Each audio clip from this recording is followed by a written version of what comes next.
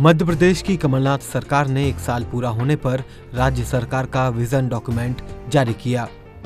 इस कार्यक्रम में मुख्यमंत्री कमलनाथ, पूर्व प्रधानमंत्री मनमोहन सिंह, पूर्व मुख्यमंत्री दिग्विजय सिंह जैसे दिग्गज नेताओं ने शिरकत की। इस मौके पर सीएम कमलनाथ ने कहा कि उनकी सरकार में सबसे ज़्यादा ध्यान किसानों पर दिया जा रहा है। किसानों की कर्ज माफ़ी के मुद्दे पर सीएम ने कहा कि उनकी सरकार ने डिफॉल्टर किसानों के साथ साथ चालू खाते वाले किसानों का कर्ज भी माफ़ किया है। सबसे बड़ा हमारा वायदा था कि हम किसानों का कर्जा माफ़ करेंगे। जब भी कर्जा माफ़ होता था, डिफॉल्टर किसानों का कर्जा माफ़ होता था। पर हमने कहा, चालू खाता वालों का भी हम कर्जा माफ़ करेंगे। मुझे खुशी है कि इस एक साल में जो हमने शुरुआत करी, हमारा जो पहला किस्त था, हमारे जो डिफॉल्टर थे, जो एनपीएस थे, हमने उनके दो लाख रुपए तक का कर्जा माफ़ किया। इसके साथ ही सीएम कमलनाथ ने ऐलान किया कि अब राज्य में कर्ज माफ़ी का दूसरा चरण भी शुरू हो चुका है। इसमें उन किसानों को भी शामिल किया जाएगा, जो पात्र होने के बावजूद कागज़ी खानापूर्ति की वजह से लाभ नहीं ले पा रहे थे।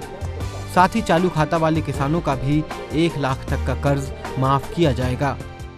हमारी दूसरी किस्त आज से शुरू हो रही है। आज से ये शुरू हो रही है। इसमें जो जो बच गए हैं, जिनका आधार कार्ड नंबर सही नहीं है, या जिनका जिसके यहाँ कोई मृत्यु हो गई है। जितने भी पात्र हैं, हमारे एनपीएस में, हमारे डिफॉल्टर में, उनका भी माफ़ किया जाएगा और एक लाख रुपए तक का, जिनका पचास हज़ार रुपए तक का कर्जा माफ़ किया था, अब एक लाख रुपए तक का कर्जा माफ़ किया जाएगा।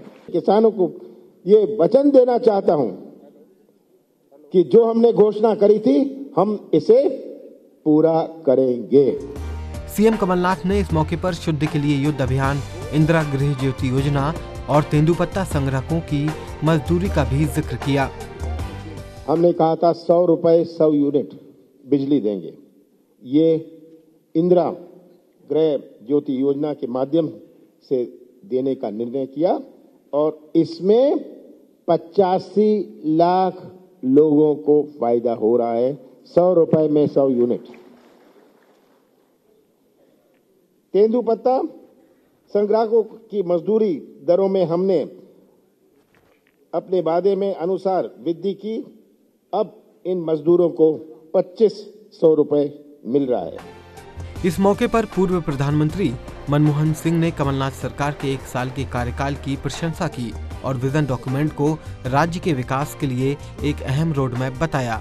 वहीं भोपाल गैस कांड पीड़ितों के लिए संघर्ष करने वाले स्वर्गीय अब्दुल जब्बार को मरणोपरांत इंदिरा गांधी सद्भावना पुरस्कार भी दिया गया।